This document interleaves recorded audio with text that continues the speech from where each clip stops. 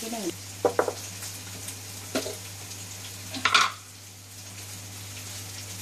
Chắc cho vừa muối lên cho nó mặn.